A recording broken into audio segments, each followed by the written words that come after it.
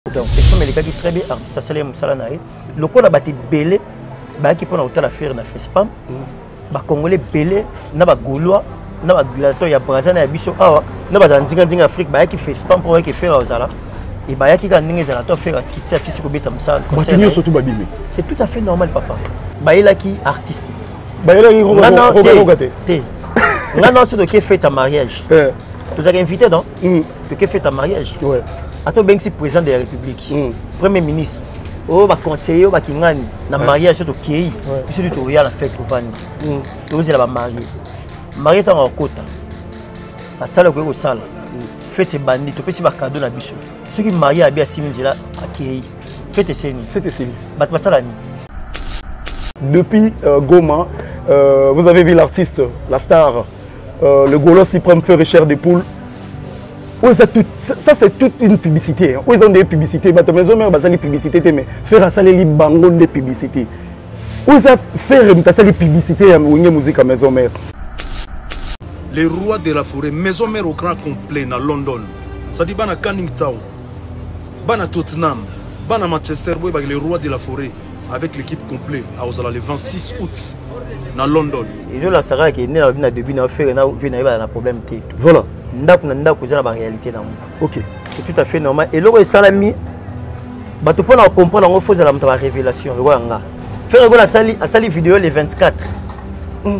asala le 24 juillet mm. fere abeta stade de martyr le 24 juin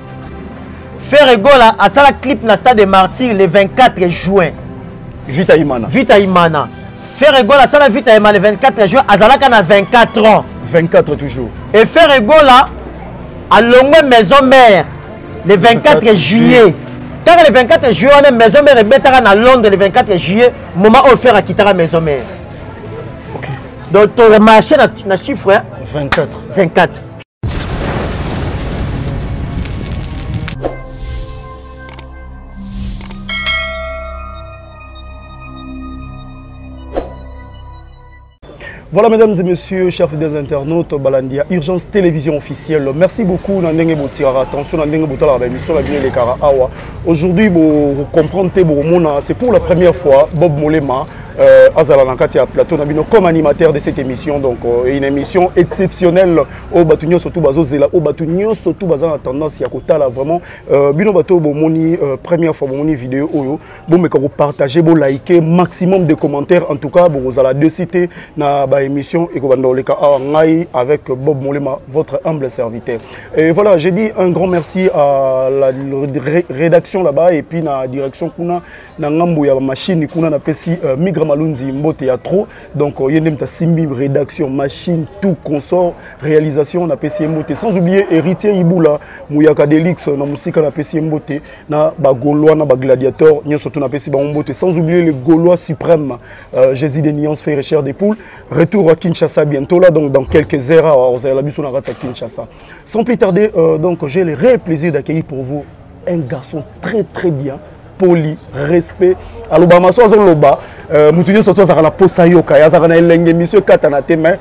vu que tozalaka toujours euh, derrière ngonga tozalaka toujours derrière temps euh, bino mo boyebi kaka oyo eza télévision alors je le réel plaisir d'accueilli pour vous ici na chaîne na bino donc urgence télévision officielle fiston frappe le père de la révolution donc euh, il est là parmi nous euh, nayebi te euh, kuna na réalisation bofungolela biso vraiment plateau mpo toyamba invité na biso ya lelo que je dis bonjour à fils enfant ouais, bonjour euh, Bob. ouais ndeni Ouais, ça va. santé naomona déjà en bonne santé ouais, santé tobunda nango ah ouais. euh, bato baolanda yo na urgence télévision mwa mbote esalaka bien mpo tocontinue na biso na bandeko nyonso ya urgence télévision tapesi bango bambota to bosabone la chaîne na biso urgence télévision esala biso bien mhm. euh, na profite napesa mbote na baye balingaka biso batalaka biso namoni yannick kayenga mon invisible namoni ah, yannick kayenga l'américain propre namoni mama fanta fofana namoni mama présidente ya bagaulois namoni mama lanita la gabonaise namoni velanga jessica jenga london namoni orsini lomene bande voilà tellement tellement belé balanda la biso donc on est ensemble voilà merci beaucoup fiston frappe là j'ai dit euh, un grand merci à gouve le gaulois gouve le gaulois euh, mbodi soda mbodi mutamakasi ya kosakala te ya jésus de nuance euh, vous êtes la bouche parmi le bouche autorisé à faire egola yo ozali na kati ya bato ya média na ye bato mpena bon soki ya un problème faire egola bato oyo apesaka confiance tu es parmi na kati ya bato wana Alors, euh, Lolo Toyambio na plateau pour tomeka un peu tobeta lisolo ya Jésus des nuances. Jésus des nuances récit total. Tembe oyo bato bazalaki na ngwana na stade de martyr lisolo wana eleki mbese sila lisolo esila tolongo wana toke brazzaville lisolo esili lisusu mais euh, brazzaville ezeuti ozala récent euh, betela biso no lisolo ya brazzaville comment ça a été euh, na brazzaville brazzaville ezalaki beleke bien malgré tozalaki physiquement toale présente mais mm. mm. euh, na ndenge molimo toyei na bango parce que moko na biso azalaki wana boga arepresentaki biso vraiment concert eye nango festival mm. ye nango festival ya fespam oyo ferre go azalaki tête d'affiche e bazalaki na besoin ya présence na ye bazali na besoin ya kombo na ye mpo na réussite ya fespam yango bomoni déjà présence na ye esalaki réussite totale ya fespam wana alors bandeko mosusu bayaki mpo na kokritike mpo na kolobake non fespam azalaki festival Ok. Ezali concert. Donc FESPAM eza festival eza ndenge moko te na na production ya ya ya ya jet set ya. Non non ça n'a rien à voir. Ok. Festival eza eza un concert privé. Mm. Donc mutu ana droit awa besoin abetisa fere to artiste mo x na mariage ye mosusu ya anniversaire ya mwana na ye soki ngai asengi kashe na nga donc pesanga par exemple 100 000 dollars mpo nabeta na mariage mpe na anniversaire ya mwana soki opesanga 100 000 dollars na noya obeta parce que yo soki na feti na obengisaki 6 10 personnes ça m'engage pas nakosala mosala nanga na bon il y a une grande différence grande différence oyo bakoma bakoma compare festival na baproduction donc eza eza peut-être manque ya, ya intelligence na part ya bandeko mosusu manque ya intelligence ouais, moi je pense que faut toyeba kosala mosala yango tu pèse bien les mots ouais je pèse bien mes mots donc faut yeba toyeba kosala mosala yango epuis toyeba nde nini mpe akoteka culture na biso mpe na mboka na biso batalaka biso beaucoup libanda donc festival elekaki très bien artiste asali ye mosala na ye lokola bato ebele bayaki mpo na kotala fere na fespam mm. bacongolais ebele na bagaulois na bagladiateur ya braza na ya biso awa na bazala nzinganzinga afrique bayaki fespam mpo bayaki fere ozala e bayaki kaka ndenge ezala to fere akiti asisi kobeta mosala bato nyonso tu babimi c'est tout à fait normal papa sikoyo ezaki c'était quoi la magie fere cher de poula na chef de l'état atelemi kei na bayelaki artiste bayelaki rogaroga te nga na soki toke fete ya mariage eh. tozalaka invité donc mm. toke fete ya mariage ouais. ata obengisi président de la république mm. premier ministre oyo oh, baconseiller oyo oh, bakingani na mariage so tokei biso tu toya na fete tovandi mm. tozela bamarie marie ntango akota basala okoki kosala mm. fete ebandi topesi bakado na biso soki marie abi asimi nzela akei fete eseni fete eseni bato basala nini na président de la bato nyonso bayaki invité frappasa mayele moko naodanisa bino président de la république ata ministre ata député oyo nyonso ayaki invité na fête so kaka marie abi bakenu de noce na mobali nde basimi nzela babimi bakei soki président azalaki invité na mariage wana na président basima nzela na cortège asali nini akeit motu nyonso ayaki invité na fête asala nini akeit motu toyelaki asasisi makambo na ye bato batikala kozela ti ntongo etana eza bato ya moko moko sikoyo rogaroga lela epwani Photo na yeti. Roga roga leli euh, bi donc ezalaka te. Ezalaka ke fallait pas lela fallait comprendre que batu bayaki pona ye. Uh-huh. Pona ferry. Oh. Fallait raison ka analyse normale bon. Moi je pense que Azur akoyo kuta nango puisque biso to salaki pala nenga côté. Ferry mm. ba pesa ke minutes neta ngesile tanga bimi bat ba sisite. Bon, sikoyo so batikala ki bango basela batani. parce que rock yango alinga abeta ma meilleure chemise te anga abeta regarde moi te anga abeta litaka te alinga abeta carte rose te mhm. alinga abeta biberon te donc bato sikoyo bayelaki banzembo wana tokofere etala sisi ata oyo batikalaki soki bangi bayokani epa rogaron sikoyo oyebi ke eloko mpe bimi mpe na bien te na chef de l'état ondire bayokanaki non bayokanaki te chef de l'état ki oyoka vita imana anga yoka pa roga te asengi yango babeti ntango esilasi nzela mama bakei sikoyo lesu ezalaki claire bato bazwa yango te polemi bakomisa yango so ndeni te nonono donc eza normal oyo esalamaki esalami c'est déjà okay. passé merci beaucoup fiston frappe retour à kinshasa ferre cher de poule aye na kinshasa il n'a pas traîné tout d'un coup un jour après goma un jour après ke goma c'était quoi comme euh, non eza nango azalaki na contrat mhm. azalaki fala abeta na soirée moko ezalaki ya mariage ya mm -hmm. ya couple mo x tokotanga kombo te mpona respect falaki azala wana ndenge ezalaka kaka mm. azalaki ahonore engagement na ye mpo azwaki mbongo ya nini yo nabaki napesi yo baexemple ah, wana ekendaki mariage parceke bato bayaki na fete ya mariage na falaki basala yango mpe analyse kendeki bato bayaki na mariage moke moto soki na fete na mariage abengisi 10 personnes mm. sikoyo fo mpo na kosepelisa bainternet mpo na kosepelisa bato balingaka fere te falaki batondisa bukavu mobima baya na mariage wana mpo afere moto abete mpo basala analyse ya bien Non. Donc euh, moi je crois que ces derniers temps, on dirait que euh, Ferrego la sert réveiller euh, actualité à la République démocratique du Congo. Et puis musique, nayebi te musique on dirait zongi na elengi nango moko boye fils non seulement musique mais omona ke bafete mingi ya baautorité ya mboka ya bato bana mbongo bakomi na posa na ye mhm.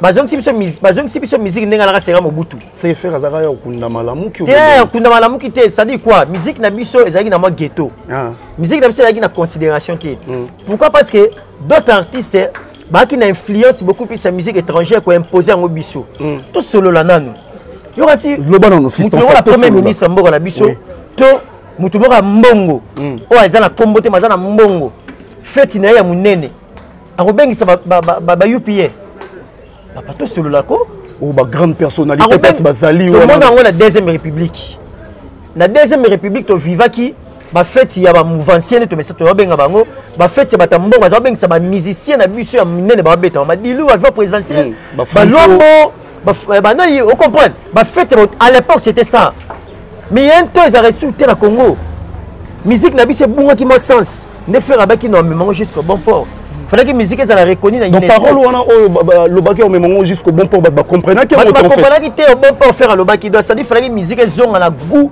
na bacapacité ezonga na valeur na yango ekomi lelo na bafeti oyo eza bamariage privé bafeti mo baanniversaire bafeti mo as musique wana babengisa mise de rumba na biso musique ezonga na elengi na yango yango lelo ezongi au bon port bafete privé on comprendre donc mm. en fait musique ezongi sikoyo ndenge ezalaki à l'époque falaki faire asala yango bongo donc c'était ça yango moni akendeki ma vite fait na bukavu mpo na honore engagement na ye ebomonaki ndenge nini fere eh, asalaki na bukavu ouais. c'est pour la première fois faire akotisi bamarie na baatapela tomesa baninga ye ngasi na baabali ye baninga ye mais faire espo akotisi bango i love you eh, eh, eh.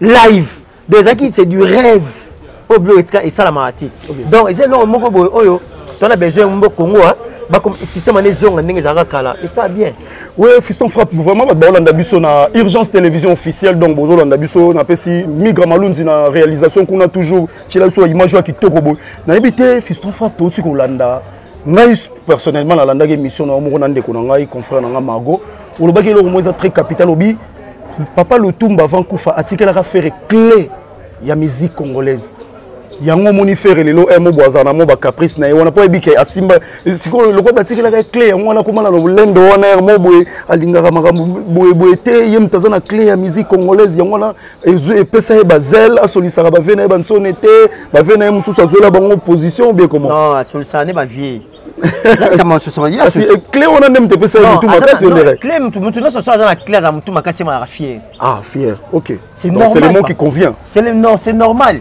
nde tozali ya soki ndako oyo fo bafungola yango hmm. bakangi yango so bakangi yango avant bafungola fo aluka moto na baclé voilà donc c'est fait richard de poule eh, alors fungola fo moto na baclé Et puis mutu aza mutu aza na clé so ko benga so azoli aza na restaurant boza si soli en kata te. Oh ngala olia non. Oh non, dabe boza na vidette.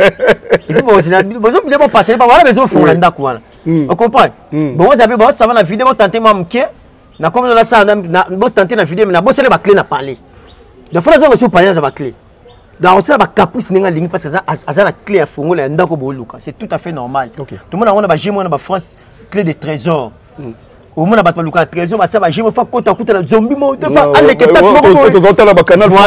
etape moko boye fa saute nanu fa arese lokola fa remplir vase etonda mpo azwa kaka clé c'est normal misiki na biso ya clé eza paboka fere donc fere azali na problème na bavie na ye te ena ni bantsone ni bane bazalaki bien naloba yango bien naloba yango mpe na continue koloba papa fere cher de poule na vie na ye de la foret bakabwana musicalement ah donc na ndeko na bango boye bakabwana musique je dis et je répète mm. sur le plan musique bakabwana mm. c'est-à-dire ferre abetaka lisusu na maison mère aosala makambo na ye aosala aza na orchestre na ye bien sur le plan aza na orchestre na ye musicalement bakabwana mais en dehors ya musique la famille reste baza na oyo eza barelation familiale est ce que bakutanaka mpe na banzela bien sûr pourquoi pas bien sûr ekozala kaka sur caméra te bon mpo bato mosusu balingaka babilo mosusu ezalaka médiatise nayebi te internet ekomi yango banyonso balingi ezala hmm. médiatise non hmm.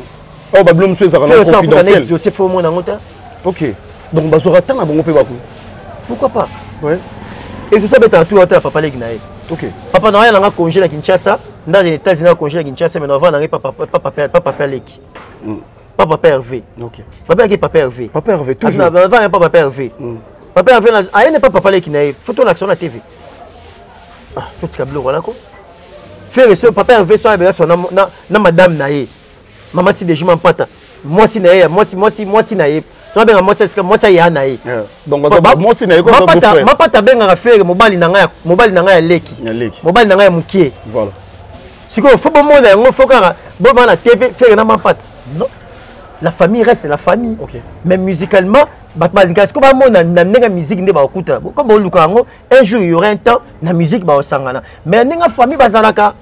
bakutanaka basololaka eza makambo etali famille ça n'a rien à voir na musique siko bato telema balingi bavie privé kaka ekomaka visualise ekoma médiatise nde siko eloko ebaa bakomisa yango conflit oyo baza na boye eza sikoyo parce que balingi bamona yango nde bamesala tu peux imaginer moto aswana na tele ngai nabengo na telefone tokosala makambo na biso privé ya biso tokotonga migra mais yo enregistre yango mpo sela yango émissionniva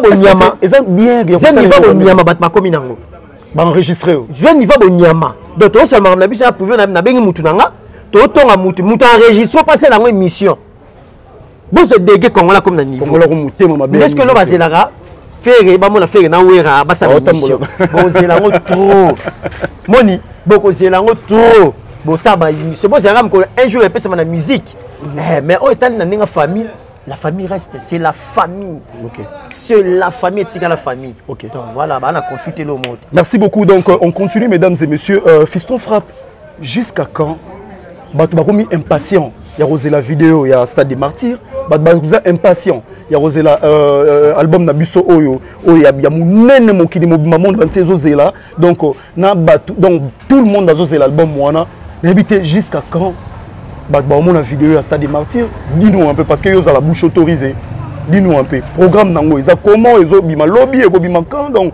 bato bazo bato baza donc impatient nayebi ke soki yo olobi quelque chose bato bakozwa mwa courage ya kopema mwa moke bakozela mai nandimi te parce que bagaulois na bagauloise na bawarrior na banani bango nyonso tu bana wenge bya mokili mobimba bango nyonso tu bazozela événement oyo eza moko eza Euh, sortie ya, ya, ya, ya stade des martyrs ya video ya stade des martyrs et puis sortie ya dynastie video ya stade des martyrs deya bato batala déjà na ndenge siko intégrité na ndenge siko ya kiprofessionnalisme hmm. baozela yango kala mingi te baozwa na bango yango mais oyo ezalaka essentiel bato batala yango deja hmm. ya biso eza te ya biso eza te emonanaka te ya biso bavideo deja eza permanent hmm. mais siko baolinga na ndenge intégrité na ndenge ya soin ya bino esala nini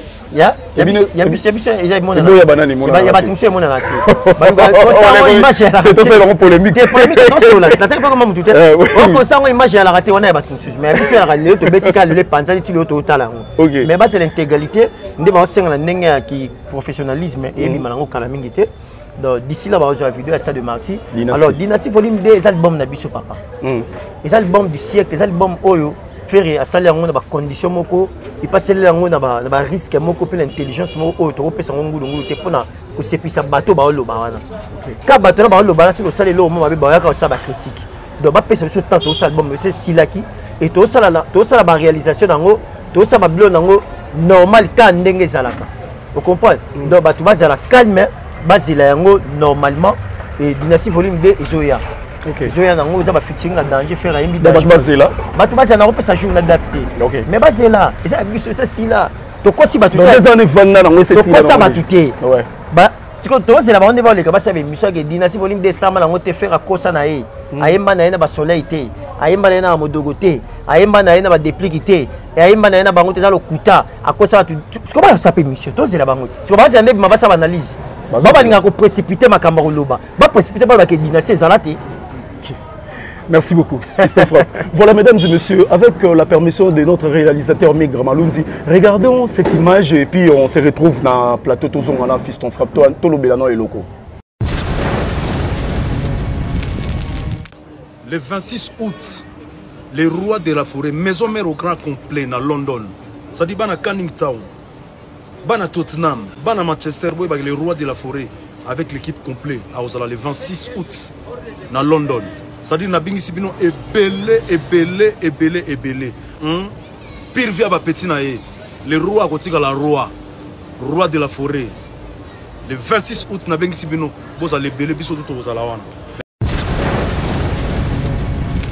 Voilà, mesdames et messieurs, image oyo esekisi nga na osekisa na esengo esekisi ngai ndenge ya esengo en tout cas euh, totali yango elongola fiston frappe vraiment ça fait plaisir depuis euh, goma euh, vous avez vu l'artiste la star euh, le golo suprême fait richard de poule oyo eza tout ça c'est toute une publicité oyo eza nde publicité bato maison mare basali publicité te mais faire asaleli bango nde publicité oyo eza ferre moto asali publicité ya wenge musique ya maison mère mais moi ça me dépasse un peu lokola na fiston frappe nga nalobela yango te tolobela yango ensemble na fiston frappe fiston frappe ça te dit quoi cette très belle image oyo totolanda ya, ya, ya jésus de nuance c'est obi ebetisi mokili cano pas comme permis elobisi toile elobisi monde entier cette image nayebi te fiston frappe avec ton intelligence na sagesse na nde nayebeli yo le père de la révolution meka na koexplike biso image oyo bon eza eza eza eza eloko moko boye beaucoup de gens bazali kozela yango mhm. ezolakisa kaka ke nde nalobi na début na fere na vie na ye bala na problème te voilà ndako na ndako eza na baréalité nango ok c'est tout à fait normal eloko esalami bato mpo na kocomprendre yango fo ezala moto ya barévélation lokola nga po yo obetaka babiloko moko bosoko olobi eloko eyotombe nango ye mikolo oza na révélation to oyeba te mhm. ferre gola asali asali video le 24 mhm. asala le 24 juillet mhm. ferre abeta abeta stade de martyr le 24 juin ferre gola asala asala clip ya liboso ya vita imana le 24 juin na stade de martyr stade de martyr ferre gola asalaka yango azalaka na 24 ans et ferre gola alongwa maison mère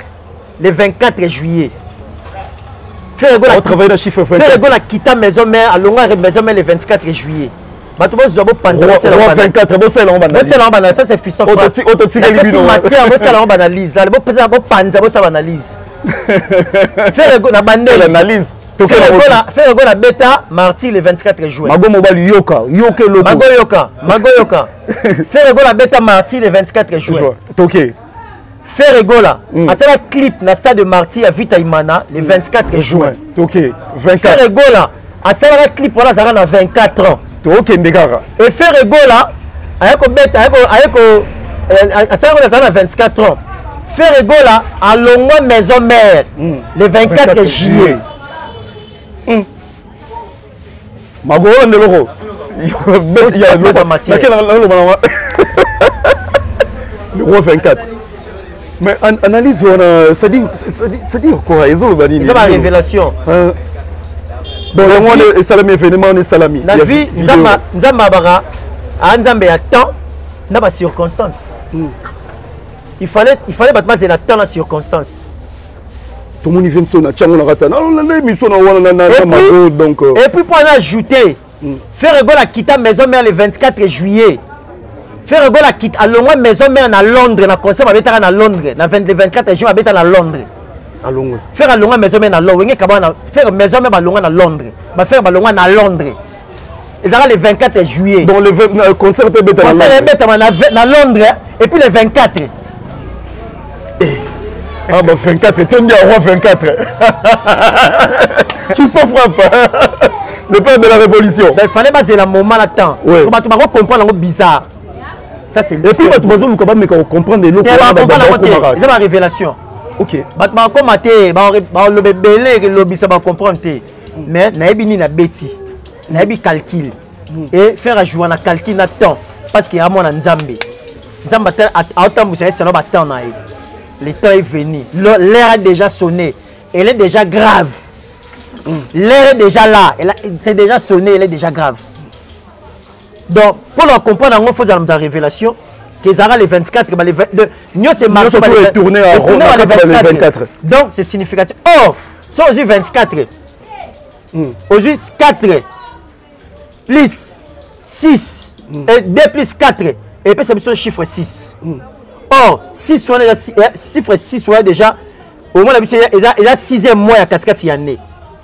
décembre na janvier décembre toala 12, 12 mois mm.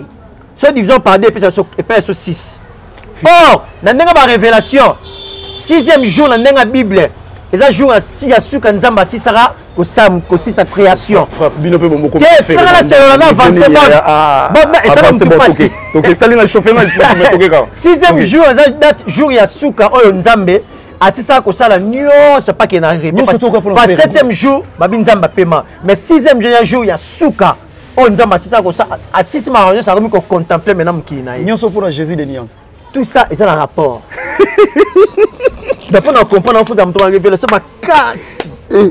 donc sikoyo eloko yango elobisa mokili fort pourquoi hein? asali video mpo na nini bato bakoloba yo un jour okoma pasteur eh? Eh, bato bakoloba mais eh, enfin tozongi kaka na na histoire hmm. bakima yango te jésus ntango alisaka bato omoni temple oyo naobuka yango apres 3 jours na rebâtir bato bamonaki ende fou ah, ah, ah, bakofuna tie pa pilato bake bamoni bajuge nyonso ya cette époque là abayaki akobuka temple azolakisa biso akotongo dans 3 jours bayebaki te pourquoi jésus azaloba bongo il parlait de lui ah ok ezali barévélation ayebi okomprendre yango te ko makambo to tobeta masolo le 24 ya bachiffre ya 24 bato bakomprendre te ke eza temps na circonstance esalami kaka bongo nabandeli mpo na suka bandeko bolanda donc euh, bolobandeli face à la caméra ngai nabandeli mpo na suka hmm. Ferre Gola abeta martyr le 24 juin. OK. Ferre Gola asala clip na stade de martyr le 24 juin. Vita Imana. Vita Imana. Ferre Gola asala Vita Imana le 24 juin azalaka na 24 ans. 24 toujours. Et Ferre Gola alongwe maison mère le 24, 24 juillet. juillet. le 24 juillet fer egola alongwe maison mère le 24 juillet ntango le 24 juillet wana maison mare ebetaka na londres le 24 juillet moment oyo fer akitaka maison mare donc tomarché na chiffre 24 24 merci beaucoup fiston frappe Voilà, euh, on va faire euh, une descente. Donc, Otokende vers la fin. Fiston frappe mot de la fin pour la fanatique Nyo, surtout la Jet Set.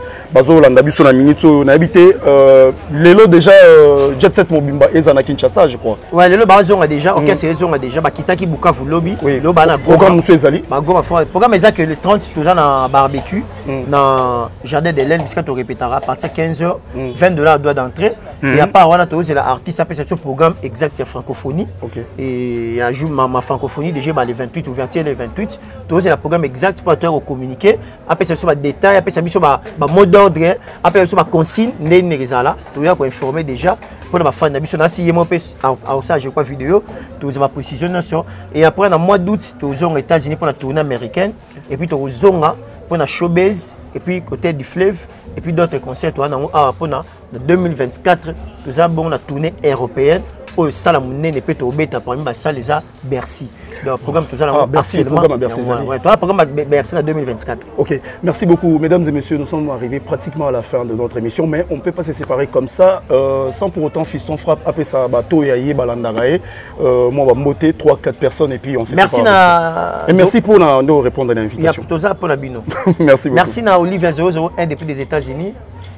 Et merci na Blanchard, Monsa Batou.